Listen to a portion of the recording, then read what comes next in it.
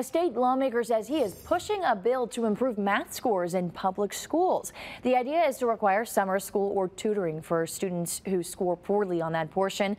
Our Michael Warwick breaks it down.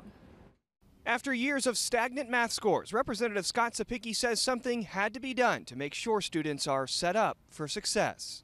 Told by colleges and universities that many high school graduates are showing up behind in math. Republican state lawmaker Scott Cepicky has a new proposal requiring K through 8 students to go to summer school or get a tutor if they score poorly on the math portion of the TCAP.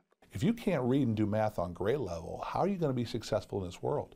In any field you want to pick. Cepicky says no student will be held back if they score under the benchmark on the math test. A stark difference from the third grade retention law that went into effect this year, which put students in jeopardy of repeating third grade if they didn't score well on the reading portion of the test. Teacher of 15 years and now full time mom, Teresa Barriente, says the pressure of standardized testing has become too much. A third grader and even, even a middle schooler should not have the stress that's involved in testing, and I know for the teachers it's also stressful. But Cepicky argues this bill will increase statewide math skills. TCAP data shows last year only 30% of Tennessee students met expectations in math.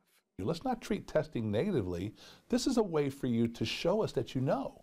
To, to, be able to prove to us and be proud of that, yes, I can answer these questions because when you get into the next grade level, you can do the same thing. Teresa isn't as convinced. She says standardized testing is part of the reason she intends to homeschool. I think that standardized testing can really take the joy out of learning, and both for teachers and students and parents, and I think it brings unnecessary stress to the joy of learning. Cepicky's plan is to introduce the new bill when regular session gets underway in January. Michael Warwick, WSMV 4.